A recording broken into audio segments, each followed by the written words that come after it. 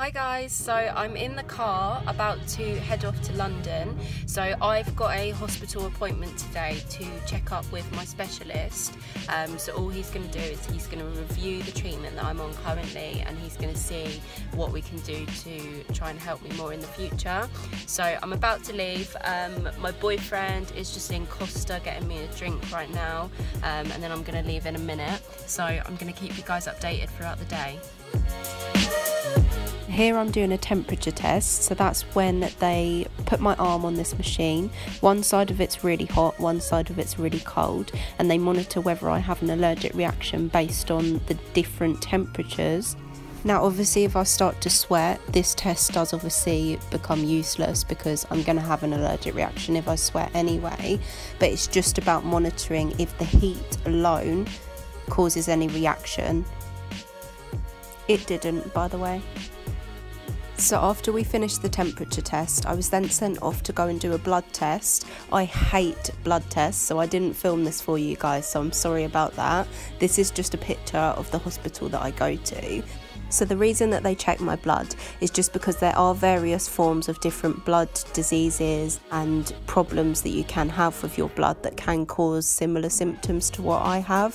So they just like to keep on top of it and make sure that they're always checking my blood just to make sure that they pick up any changes or anything that they could have missed previously.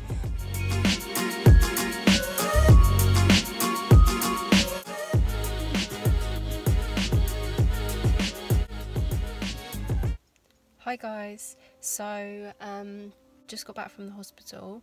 Didn't actually have the best day. Didn't really get the best news or the news that I wanted, but basically they just pretty much said that they just need to run more tests on me. They just don't really understand why this has got so bad for me and why all of my symptoms have just got so much worse out of nowhere. So um, I'm gonna have a biopsy where they said that they're gonna like take a sample of my skin. Um, they said it's not major, like it will just leave like a really small scar. Um, and they're gonna take a sample of the skin. They're gonna test the skin to see if they can find anything else alongside the allergy to water that might be like aggravating it or making it worse. And then obviously they can like that could potentially open up new doors for like treatment that could be considered for me. Um, but they've pretty much said that they're running out of options, really, like because it just doesn't.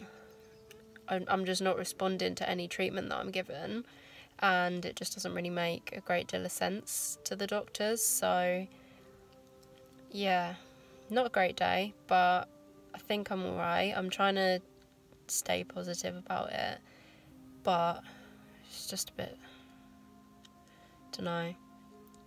It's just really difficult trying to stay positive about something that is just so, so negative. It's just such a terrible situation and it's just so unfair knowing that a few years ago my life wasn't like this. I just wanted to give you guys an update. Um, so yeah, that was my day in London. I'll keep you guys updated once I actually have the biopsy. I'll try and vlog that for you so that you guys can see. But thank you for everyone who wished me luck on Snapchat.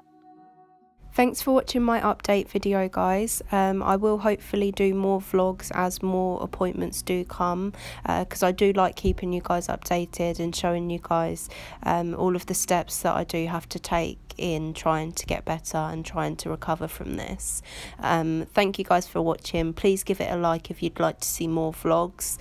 Please check out some of my other videos if you do want more information about my allergy to water. I'll leave a link in the description below for you.